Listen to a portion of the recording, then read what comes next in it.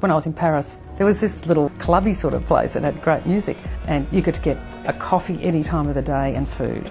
And you know, this concept came back with me over 10 years ago, and I just thought this is what Sydney needs.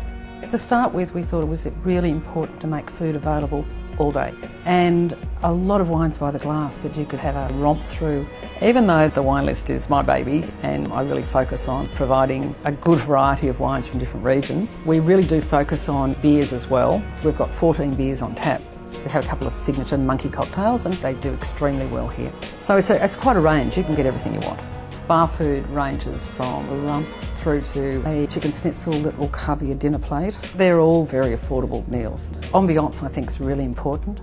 People like to feel comfortable. When you walk in, it's clean, it's stylish, non smoking, and leather tub chairs that you can languish in.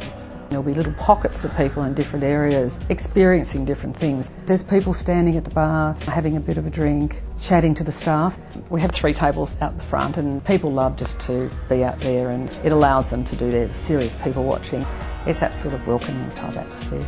We put on a DJ on Friday night. It's none of this doof doof stuff. It, it appeals to a lot of ages, and we have a, a really extended demographic here. So I think what we offer people is what they want. The Monkey Bar is a little touch of Paris in Balmain.